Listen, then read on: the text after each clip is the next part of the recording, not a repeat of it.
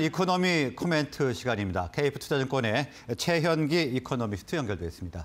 채현기 이코노미스트 나와 계십니까? 예, 안녕하세요. 네, 안녕하십니까.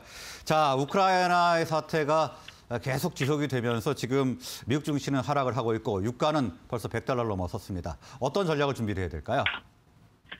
일단 말씀하신 대로 지금 러시아의 그 우크라이나 주요 지역 공습이 계속적으로 이어지면서 어, 특히나 이제 그 중간 중간에 이제 외교적 어떤 협상 뭐 가능성도 있긴 했습니다만 어, 회담 자체가 상당히 어렵게 진행이 된 것뿐만 아니라 어, 좀 실질적인 뭐 어떤 결과를 도출해내지 못했다는 점에서 어, 이러한 지정학적 리스크가 지금 금융시장의 변동성을 상당히 좀 높이고 있는 상황이고요.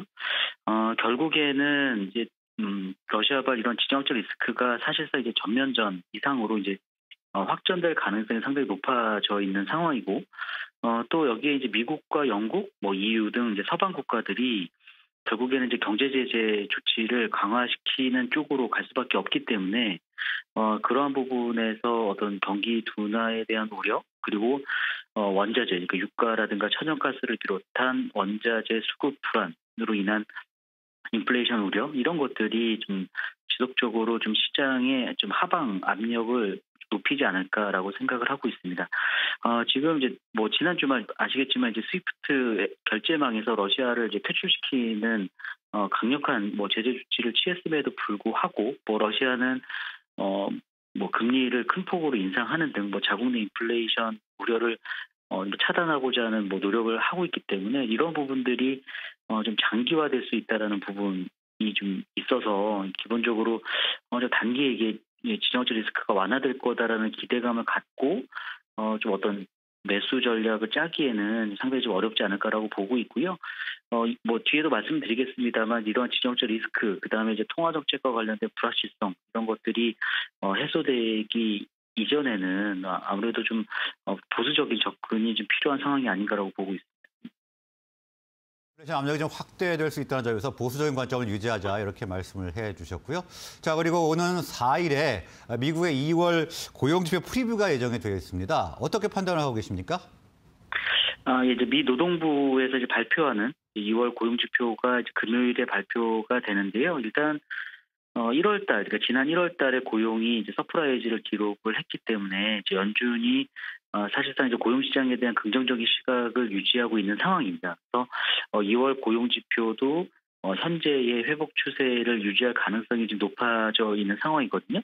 그러니까 오미크론 변이의 확산세가 좀 진정되고 있고 또 일부 고용 시장에서 이탈했던 어, 그런 그 경제활동 그 인구들이 다시 좀 투입이 되고 있는 상황이기 때문에 어, 그런 부분에서 뭐 1월 고용이 이제 뭐 46만 명대, 2월에는 이제 40만 명 초반에 좀 신규 고용 어, 증가세가 예상이 되고 있습니다. 그래서 어, 뭐 기업들도 계속적으로 구인난을 타개하기 위해서 임금 인상을 계속적으로 가져가고 있는 상황이기 때문에 어, 이러한 어떤 고용 시장의 회복세는 어, 2월에도 좀 이어, 이어졌을 가능성이 좀 높다라고 보고 있습니다.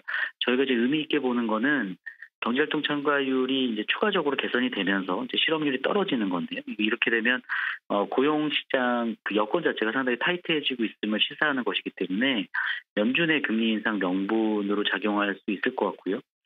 어, 그렇기 때문에 지금 뭐 금리 3월에 이제 금리 인상 폭이 문제일 뿐 3월 달부터 이제 금리 인상 이 이제 단행될 거다라는 건 이미 기정사실화되어 있는 부분이기 때문에 어, 이번 뭐 2월 고용지표 뭐 예상치를 크게 밑돌지 않은 어떤 그 부진한 흐름이 아니라면 어, 어떤 3월의 금리 인상의 좀 명분 혹은 어, 근거로 좀 작용할 가능성이 높다라고 보고 있습니다.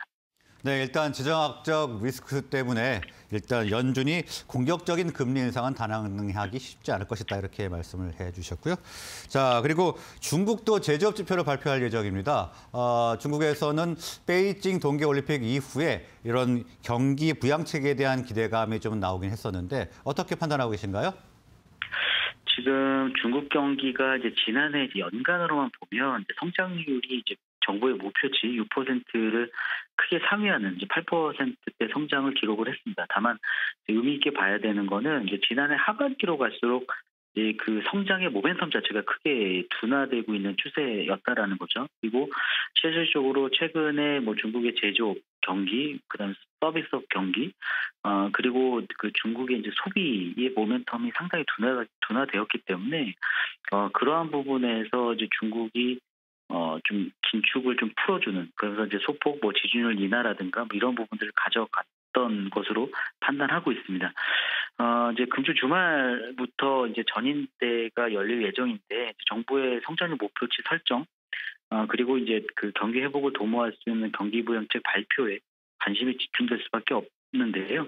우선 이제 경제 성장률 목표치 같은 경우는 이제 기존 6% 이상 보다는 이제 하향 조정되면서 5% 이상으로 좀 제시될 가능성이 높아 보입니다. 그렇기 때문에 어, 특히나 이제 현재 이제 중국 같은 경우는 상당히 강력한 그 코로나 대응책, 그러니까 완전한 완전한 봉쇄 조치를 취하고 있는 상황이기 때문에 경기가 이제 냉각되는 속도가 이제 상대, 그러니까 그 기타 그 주요국들보다 좀 그 냉각되는 속도가 상당히 빠르거든요. 그렇기 때문에 어, 정책 당국의 어떤 그- 그 강도, 수위 조절에 대한 기대감도 좀 높아져 있는 상황이고요. 또 어, 그런 부분에서 인민은행의 탄력적인 유동성 공급, 또 부동산 규제의 어떤 추가적인 완화 이런 것들이 좀 논의되면서 어, 경기 하방 리스크를 제어하고자 하는 어떤 정부 정책에 대한 기대감은 뭐 연내 혹은 상반기에 좀 집중될 가능성이 높지 않겠냐라고.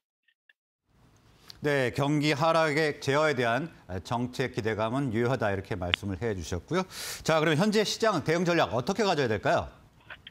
일단은 이제 불확실성이 높은 구간임에는 좀 틀림없어 보이고요. 지정학적 리스크를 사실상 이 전개 양상이라는 거를 예단하면서 갈 수는 없기 때문에 어, 좀 보수적인 좀 접근이 좀 필요할 수밖에 없을 것 같습니다. 그래서 어, 뭐 서방 국가들의 아마 경제 제재 수위도 계속적으로 높아질 가능성이 높고요. 그리고 어, 반등폭이 이제 시장이 이제 중간중간 반등을 하긴 합니다만 반등폭 자체도 크지 않고 어, 반등 구간이 길지 않을 수 있다는 점에 좀 유의할 필요가 있어 보입니다.